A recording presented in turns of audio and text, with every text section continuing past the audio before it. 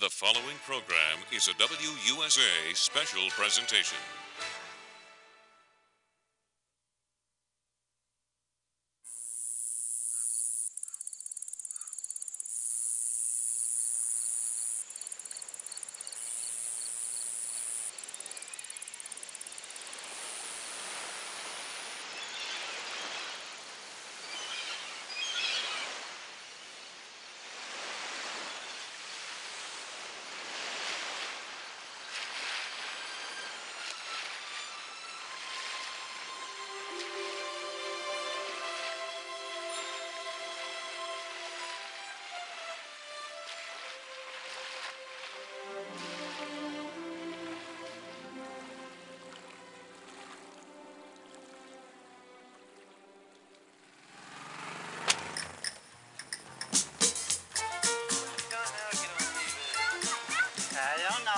Know. They're doing a documentary.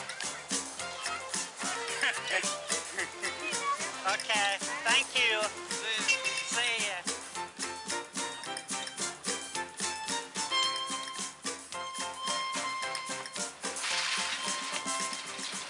It is unique in, in that it's still unspoiled.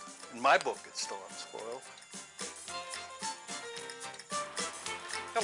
I'm John Goldsmith, and welcome to Crisfield, Maryland. I'm here to tell you, not exactly your typical quaint, charming picture postcard kind of town. Oh, like the more popular locales on the eastern shore of the Chesapeake, this place is old, all right. Was settled 70 years before George Washington slept anywhere. But that's where the comparisons end and Crisfield begins.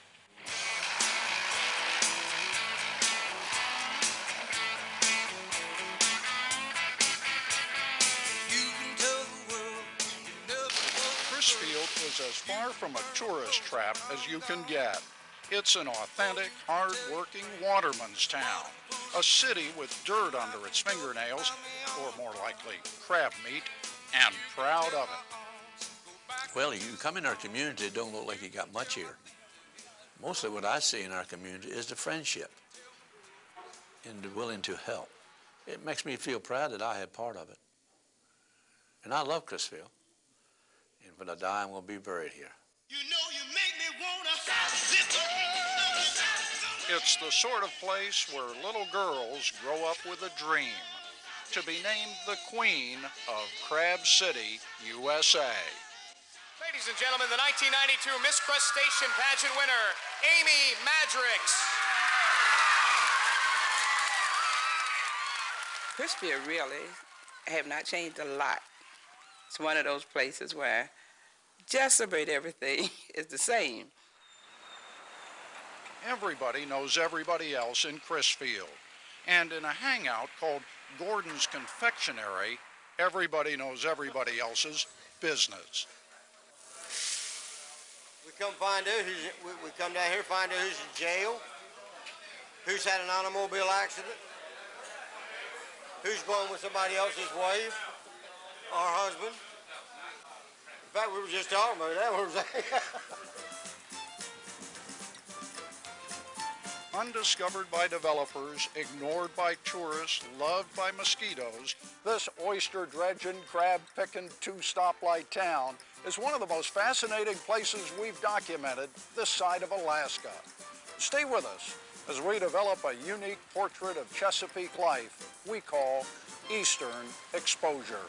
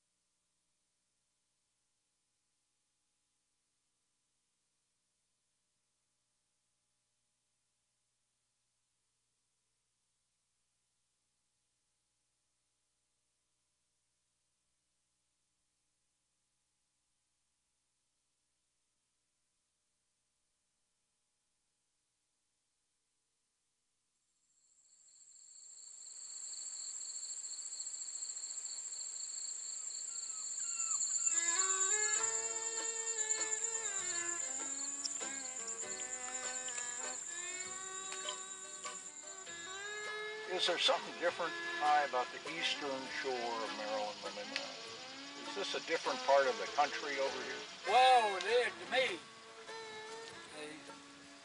I've been around a lot, but uh, Eastern Shore is the greatest place on earth.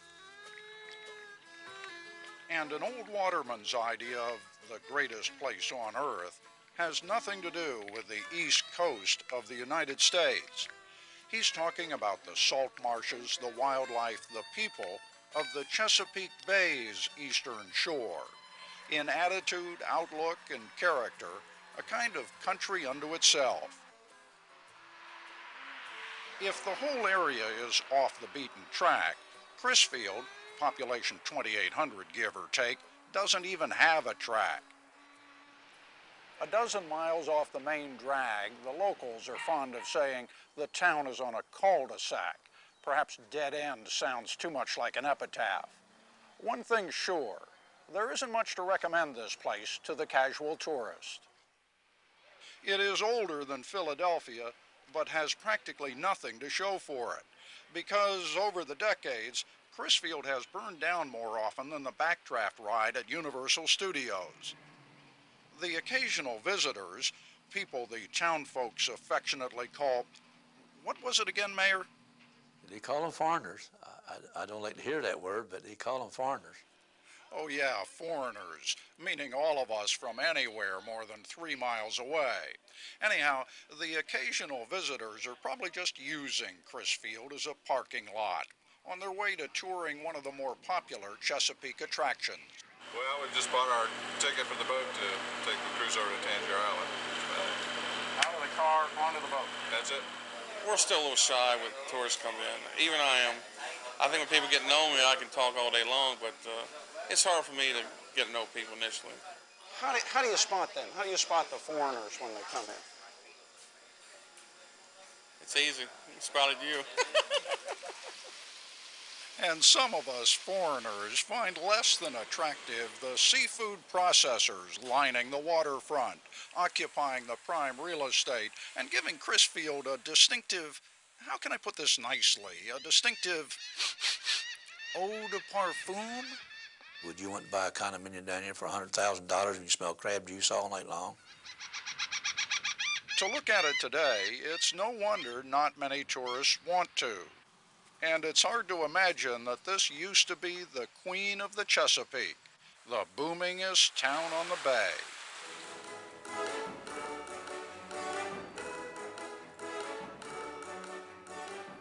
Originally called Summers Cove, the place was 200 years old before a fellow named John W. Crisfield put his name on the map by bringing the railroad to town, driving it right smack down the middle of Main Street to the water's edge.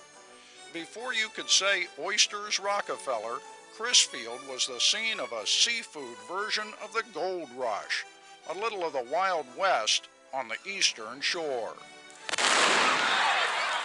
Well, maybe not this wild, but the stage shootout during the city's annual Hard Crab Derby doesn't miss the mark by much.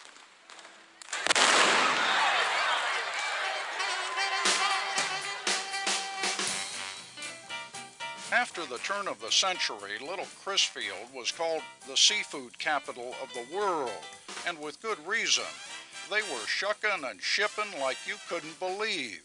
Oysters literally becoming the foundation of the town's future. They process them by the millions a day, acting as if they'd never exhaust the supply. And crabs, more came from here than anywhere in the country. Why, as recently as the 1940s, there'd be times when this harbor was so crowded you couldn't see the water for the workboats. When I was a little boy, for instance, you could walk from one boat to another to the other side, Just walking on boats like they were a bridge. just like the bridge across to the other side of there. Like they're bringing in their fish harvests, in their summertime and their crabs. In Wintertime, oysters was the same way. But even with Scotty's generation, everybody calls Mayor Richard Scott Scotty, even then the harvest was beginning to decline, the town turning to industry off the water to keep its head above it. But ultimately, nothing halted Crisfield's bumpy slide to the bottom rung of the economic ladder where it sits today, leaving businessman John Taws, everybody calls him Jay, in search of a silver lining. Well, you know, I've been saying for the last couple of years, when you got the highest unemployment, the lowest income per capita in the state, you know, and you got a plant closing and you got seafood going downhill, where else can you go but uphill? Whether they really believe the turnaround is coming or they really don't care, we found Crisfielders to be nowhere near as depressed as their economic statistics. When hard times hits here, we, we, we, we pay no attention to it. Because it's hard times down here all the time. And if the depression hits them down here, they know how to live. The city people don't live that good. You know, they fast money and the money falls down, they ain't got nothing to fall back on. Here, do we have? I think so. I uh, I like to say we've got a, a, a wonderful way of life here. Uh, down, I guess we've always been there, so we don't know what down is. Hun Lawson's family has called this area home for a dozen generations, and in some ways at least, still personifies the town. We're laid back, you know, and, and uh, I don't get in a rush for anything anymore. I'm, it's, I don't know. It's, yeah, we take a lot of pride in, in, in being Crisfield. We're making it.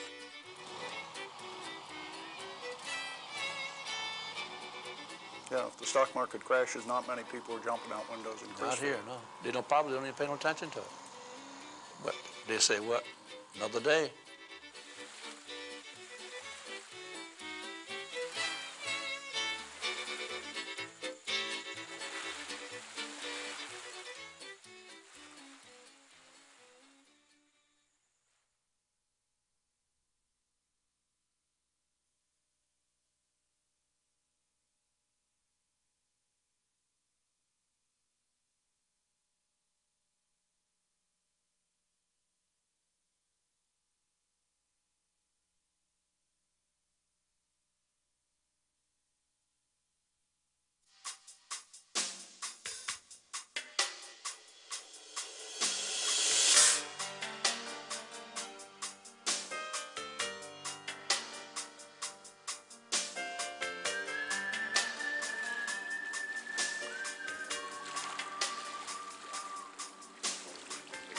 Keep your mind on your job, it, it'll keep you it'll keep you hopping. I tell you, I tell you. Now you can get the times out there when you can just enjoy it. I mean, beautiful sunrises and nice, pretty cool days like we've had for the summertime. It's, it's, it's real enjoyable weather-wise, and you get in close contact with nature, and it feels good. But as far as the job goes, it's hard work. If you want a eight-hour job, four, 40-hour a week job, this is not for you. Welcome to the office of 39-year-old Elijah Lee Wilson Jr., CPA. As the title indicates, my son, the waterman, is not exactly what Lee's father had in mind. The family has worked the Chesapeake for generations, but Elijah Sr. wanted something better for his boy, something safer and more secure, something like filling out other people's 1040 forms. I went to college for five years, and I got a degree, and I saw that way of life. And you and you look into cities and stuff, and you see that way of life. Then you look down here and see our way of life. I'll never be rich. You'll never be a rich man doing this job. I tell you that now. But uh, I have a good family, and uh, uh, I make a living, and uh, just enjoy the lifestyle. Just enjoy the lifestyle. I'm not in the rat race. I don't. Uh, I'm not in a traffic jam every morning for an hour, hour and a half, hollering at the next guy to get out of the way so I can get there, and I got to go get, be in there at 7:30, you know, and do the same thing at night and shove across the Bay Bridge or somewhere to come back home, and uh, it's it's a different way of life. Freedom, fresh air, being your own boss, the romantic life of the waterman. I stayed with it until uh, uh, my legs went.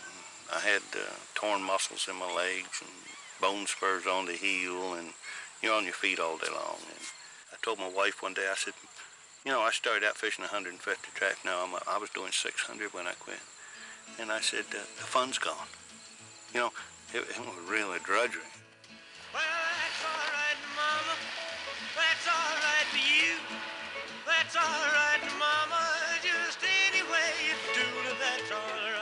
It's pure work. That's all it is. And you're, you're, you're hauling the pots back in. We, we set the pots. You leave the pots for one or two days. And you just go up and you, you pull the pots up. And you, you dump the crabs out, bait them back, and put them back. And it's continuous, one after another, work, work, work. After 10 hours of this, if all goes well, Lee will arrive at the dock with 60 bushels of blues, more than 6,000 of them.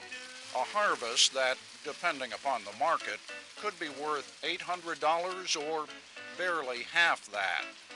It sounds like farming, but It's out of control a lot more than farming. I can tell you that right now.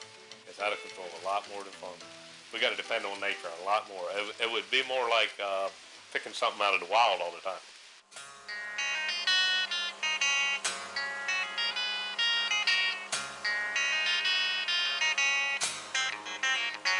This brings us to the man who may be able to answer the burning question of our times. What makes the blue crab one of the most unpredictable, cantankerous, and downright meanest critters on the face of the earth? that I don't know.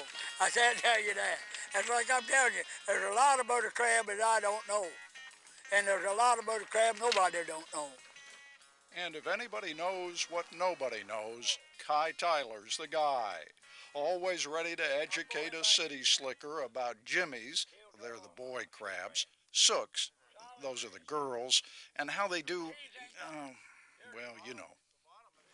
See, she opens that flap up like that, and he hooks her like that. Huh.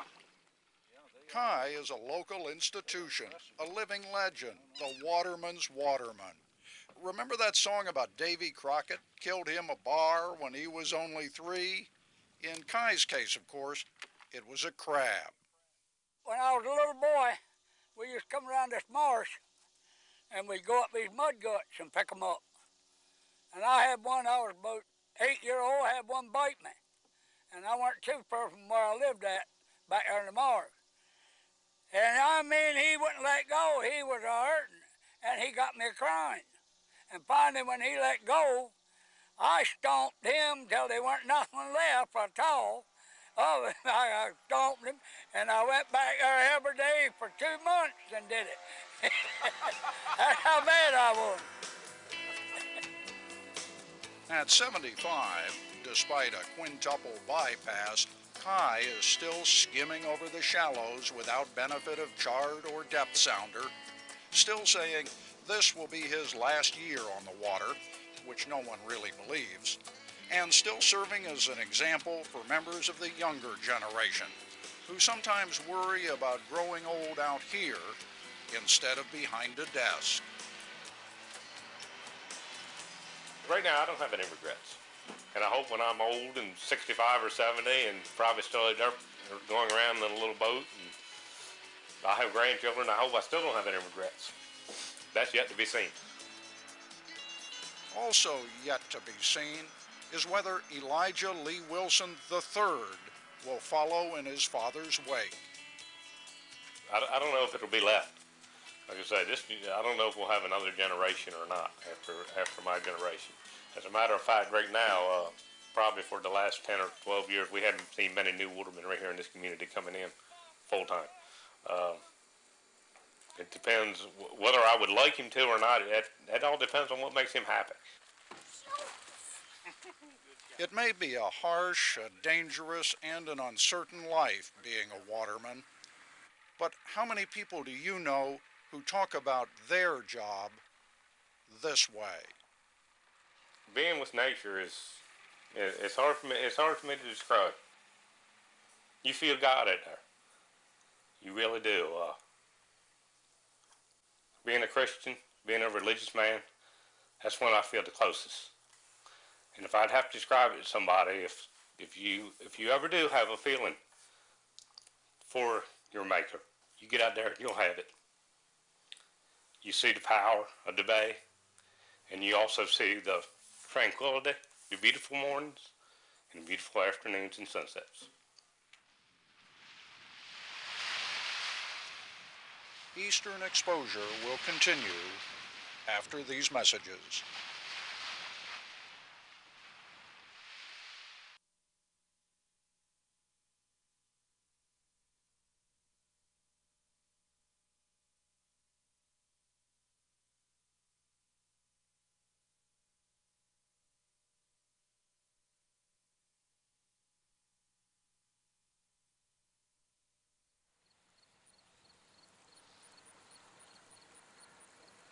Me rewind it just a hair. Ready, girls?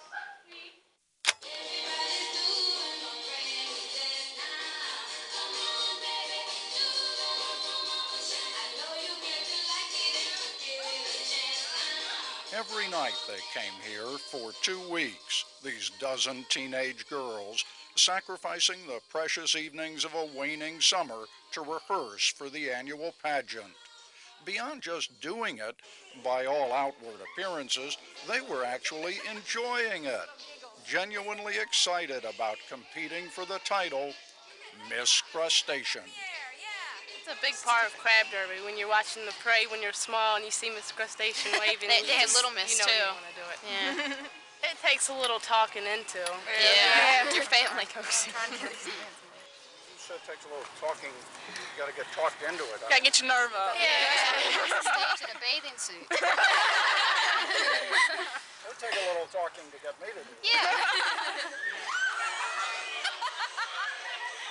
Seeing kids having a good time outside of a shopping mall, away from a video arcade, in a town with neither one, made us feel the music was right on. The 1950s are alive and well and living in Crisfield, Maryland. Yeah, we need the poodle skirts and, and the convertible Chevrolets, and we'd be right there, wouldn't we, huh? well, that's where we want to be. You know, uh, we don't want to be in the electronic age.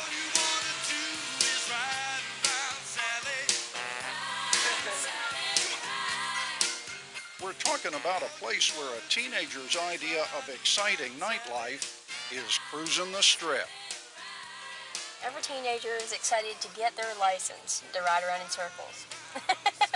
um, it sounds pretty, I guess, stupid to some people who don't live here. But when you get your license and you get your car, you go out on the strip, not just to ride around in circles, but you're, you go to find your friends. Go down to that depot, sit down and watch him on Saturday nights. You can count one car about a hundred times. Going nowhere. They wear their tires out on the inside.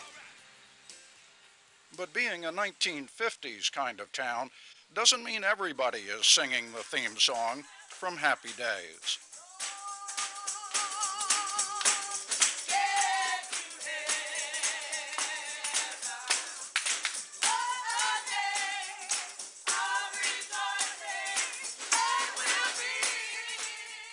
This too is a picture of the 1950s, maybe even the 1850s. For when it comes to this cotton picking job, not much has changed in a hundred years. I started when I was 12, but then I stopped for a while, about five years, and then I just came back to pick some more. It's something you never forget. Once you learn how to do it, you never forget how to do it. My God, I'm 72, but 55 years ago, I guess. Been 55 years I've been picking, yeah. I'm 72 now, Jack. That's the real deal. Years ago, there was a lot of segregation around here, and uh,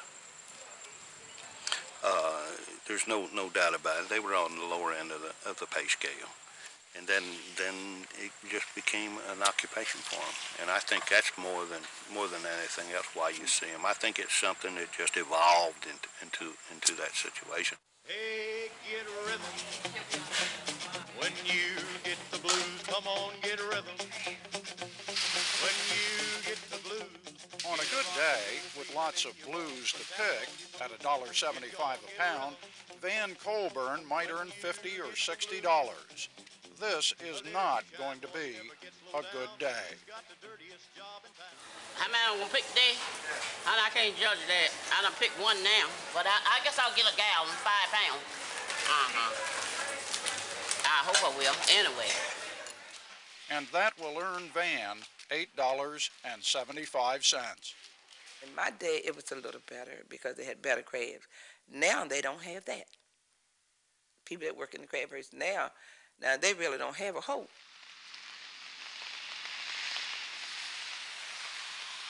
Have you ever been down to your last stop? I'm talking about hope now. Hallelujah. To your last stop. And not knowing where you were going to work at the next day.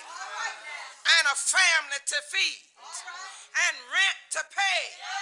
Oh, praise the Lord.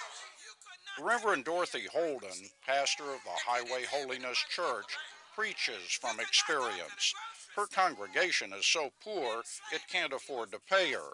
And like many in her flock, she knows firsthand that crab picking is another Crisfield occupation passed from generation to generation. I looked at my mother. I didn't want to. I had a, no other choice. My kids looked at me. They didn't want to pick crabs. They said, it's nothing in it. It's not, we'll never, you know, make it. I knew they would never make it. So the girls and things now are looking at it and they're saying, for what? You know, why would I learn to pick crabs?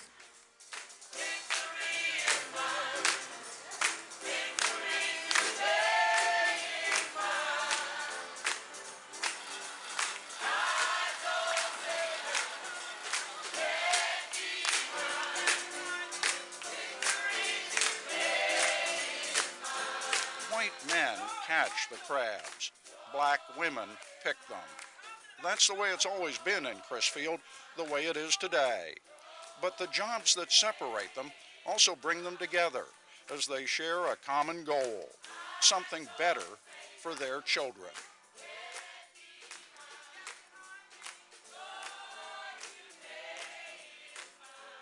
I made it my purpose to send them to school, to make sure that they would finish school, come what may, two, three jobs what, to make sure some way they went to college. I wanted it better for them. And the kids, black or white, all realize they aren't going to find that better life here. The opportunities aren't here for, for, for the, you know, you're going to be an executive in Crisfield. The best you can do is get with one of the banks and hope somebody dies and you can move up, you know. You're going to stay in Crisfield? You think this is a place where you want to live and, and raise your No. family? No. I do. It's, it's a nice place to live and to, to grow up with your families, but there's more opportunities elsewhere than there is here. They all say they love the town, and as soon as they get the chance, they're, They're out leaving. It's not because they want to. Even through the prejudice or the hard times or whatever, I think if our kids could really make it here, they, it's something about Crisfield. It's hard, and you are going to live in poverty if you stay here, but it's still something about it that you love and you enjoy.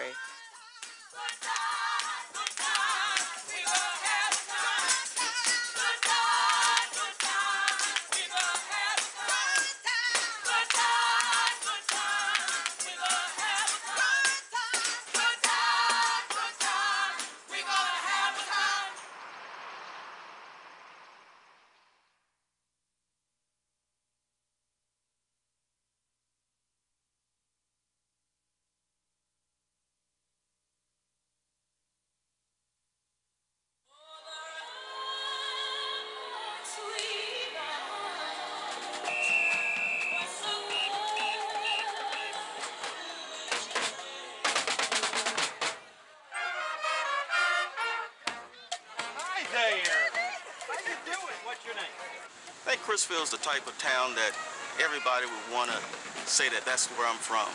It's the type of town where people say hi to each other in the morning. Crisfield is also the type of town that lends itself to a mixed bag of observations under the heading, It's the sort of place where the cops have a reserved parking space in front of the Plain and Fancy, a mom and pop and daughter diner that, without fail, closes early one day a week.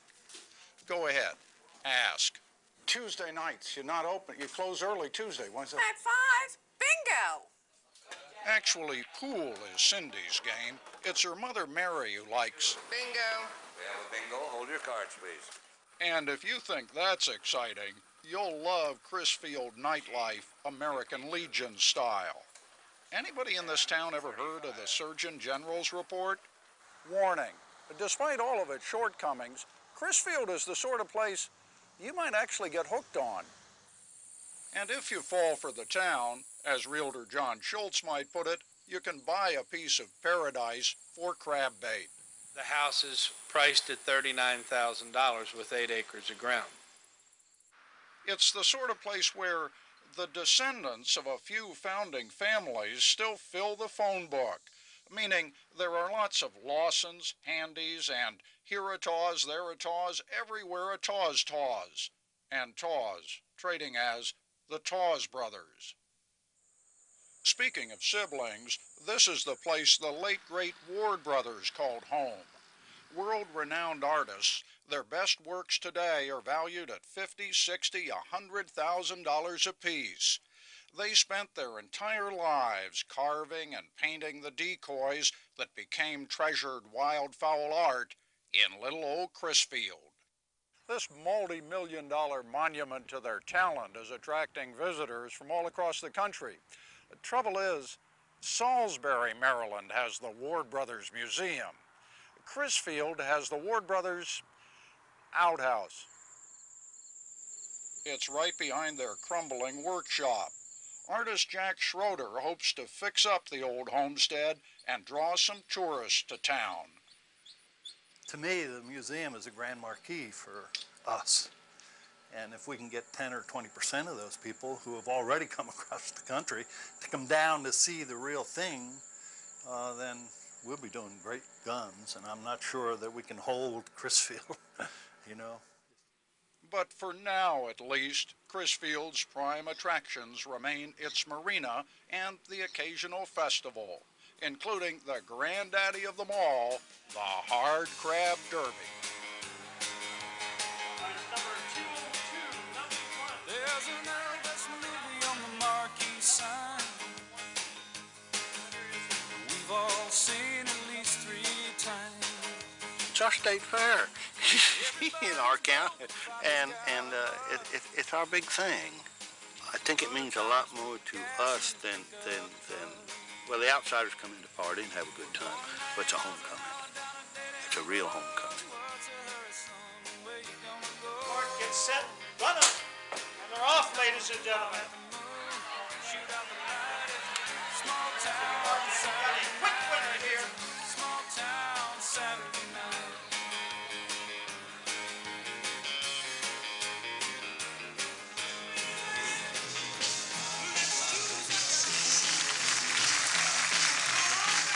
on Derby weekend, the whole town turns out for Crisfield's version of the Miss America pageant.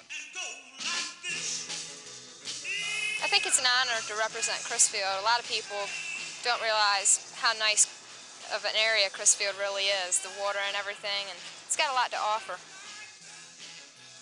You got a lot of people out there you know, and you want to do good when you get out in front of them. You want to speak well, you want to act like you know what you're doing. Contestant number six is Jill Dyes. Jill is the daughter of Rookie and Karen Dyes. She's being sponsored tonight by Captain's Carryout. I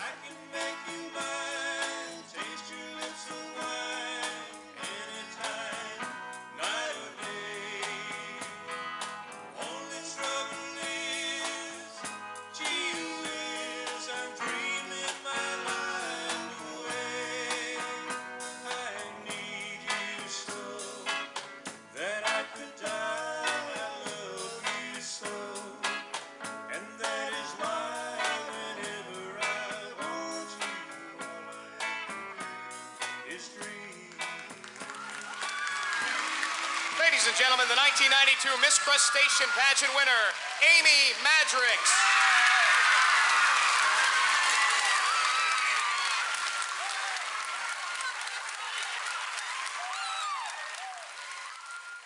It was so much fun.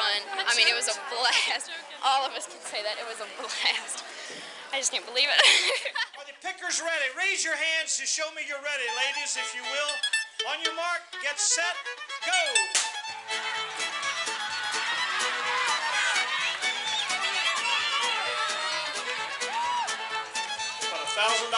Trip to Pittsburgh, Pennsylvania, expenses paid for the last week of September, where they will pick crabs in the America's Superstore.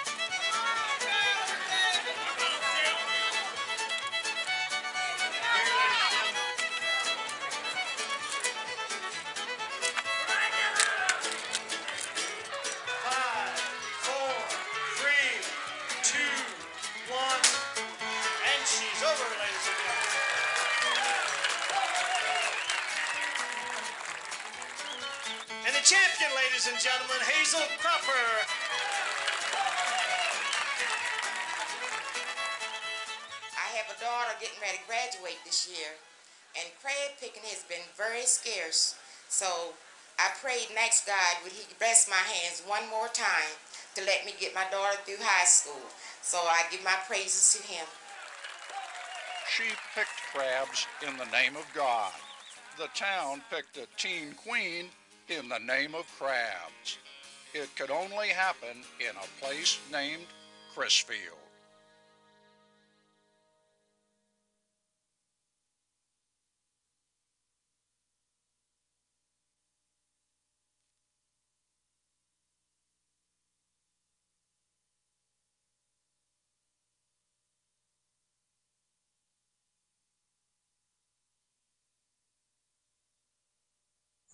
What is it about a town like Crisfield that makes it so appealing? Well, I guess the, the surroundings and the nice people, and just the, it's just not that hustle bustle that's like up in the city. We asked the guy running the motel if he could call us a cab, and he asked where we were going, and we said we were going downtown to get a bite to eat. He said, just take my car, the keys are in it.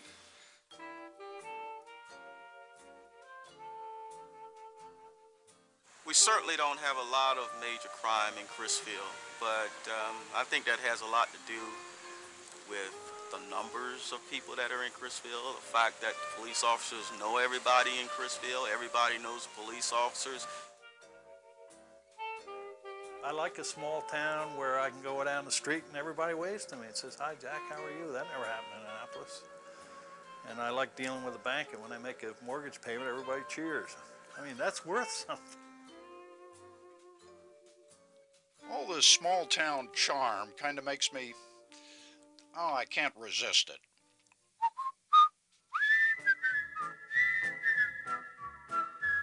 However, we carry more than one bullet. We now carry about 15 as a matter of fact. How you doing, Charlie? Okay. Oh, you're on camera today, ain't you? Good heavens. and if Mayberry had a character peddling papers, he would have been a guy like Charlie. Documentary or something didn't make it. Okay. Probably make us famous. Yeah. He's a caretaker at the Chrisfield Cemetery, except Wednesdays, when Charlie is definitely in step with the times. Everybody knows him. Hey. He knows everybody. Thanks, Deborah. Thanks, Aubergine. Hey, how you? Thank you both. He's been stopping traffic at 9th and Main for 53 years. Used to be a lot of beer joints on uh, on e- on every corner, and it was uh, bowling alleys, movie theaters, and everything. Except they all gone. That used that restaurant there was old uh, Liberty s- stable one time, and it was a it's a lot of places along here is gone. You think it's, you think the town's gonna be okay, that it's gonna hang in there? Yeah, it'll, it'll hang. When you read the Crisfield Times, it's, it's dead news. It's a small community. It gets it gets around. Unbelievable how, how quick things can get out. I don't think there there are any secrets in this town.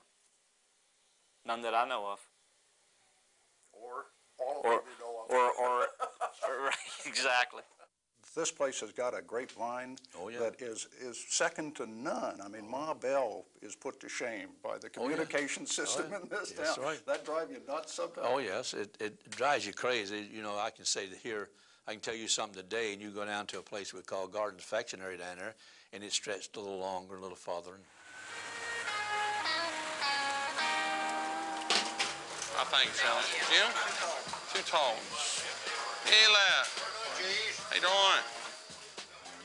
This is it, Gordon's Communications Central. If gossip is the lifeblood of Crisfield, this place has got to be the heart of the town. I think a lot gets answered here. We get down to the bottom of it, right here at Gordon's. Yeah. For the past 18 years, Miss Joe has been frying eggs and listening to the guys gab. And if you ask her, Men gossip ten times more than women, and they're louder than women. Yeah, yeah. People won't believe it. If you come in here and you would say, come in here for a week, you would say there's no woman that could keep up with a man talking. No way. My girlfriend, that's one argument I can't have with her anymore about gossip. She, she'll probably come in here about 8 o'clock, and she usually comes in and sees 20, 25 men, and the decibel's about over 100. The specialties of the house, scrapple, hot dogs, and the rumor du jour. There should be another sign over the counter. Never let the truth interfere with a good story. They sell more coffee here than they do on the east, anywhere else on the east coast. More coffee. If these 68 year old walls could talk, one of the tales they'd tell is about that high school senior class trip to New York. When the beer came out, the girls' tops came off and the kids trashed the bus. Jay Tawes remembers. When we got back to Crisfield the next morning, everybody in Gordon's knew about it. And they were already degrading our senior class, you know, bef- before anybody, eh, almost before we even got home. It was unbelievable how quick that, that rumor got out. If one place captures the character of Crisfield, this is it. And sooner or later, everyone in town comes here.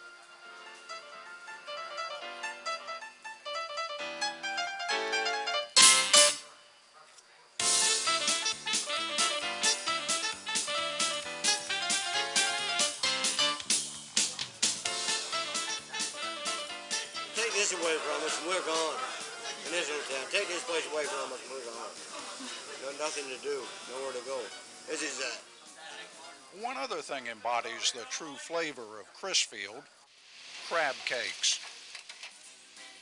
And everybody in town knows who makes the world's best. The very best come from Plain and Fancy on 4th and Main in Crisfield, Maryland. Where are the world's best crab cakes? Captain's Galley. Really? Yes. We've got the world's best crab cakes in all four restaurants. I can't tell you what goes into my crab cakes, but I'll put them up beside uh, anybody's in Crisfield or wherever. The best crab cakes in Crisfield, without a doubt, are my father-in-law's. Uh, world's best crab guy? Yeah. Everybody doesn't like prime rib. I'd rather have prime rib than a crab cake any day. But, but. You uh, kidding? Huh? Yeah. Best crab cake. My wife says I better say here. Too many fish in the sea.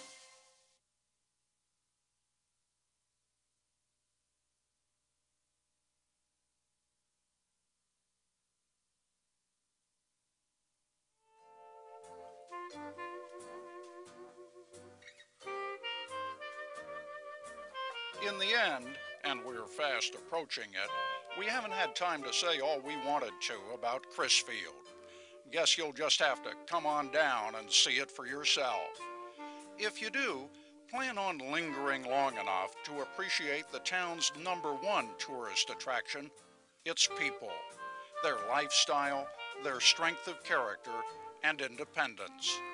James Michener knows the Chesapeake as well as anyone, and he says of Crisfield, I remember that rugged fishing village with a glow that will never die. We say amen to that and add this prayer. May it forever remain a place where everybody knows your name.